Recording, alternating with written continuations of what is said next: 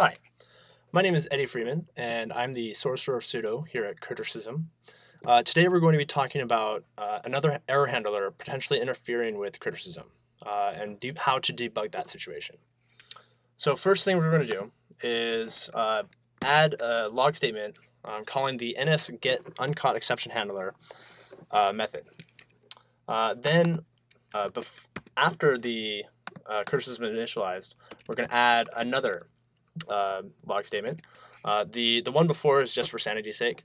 Uh, the one after is just to make sure that we, we know which which pointer is going to be uh, Crittercisms.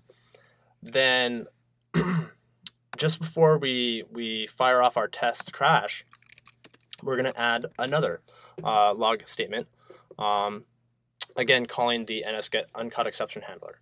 Now, uh, the importance of this is um, that on iOS, uh, you can only have one primary uncaught, except, uncaught exception handler. Uh, so if you have another one uh, or another another service or another SDK that's uh, you know utilizing that, um, then it will it will override uh, Crittercisms. So let's test this out. So I'm launching the app, and what I'm going to do is you can see here the the pointer for Crittercism after initialization. So let's crash it. All right, sweet. The pointer is the exact same. Uh, and that's what you want to see. Uh, if you don't see that, uh, then that means that another uh, another SDK or another service is, is uh, interfering by setting another uncaught exception handler.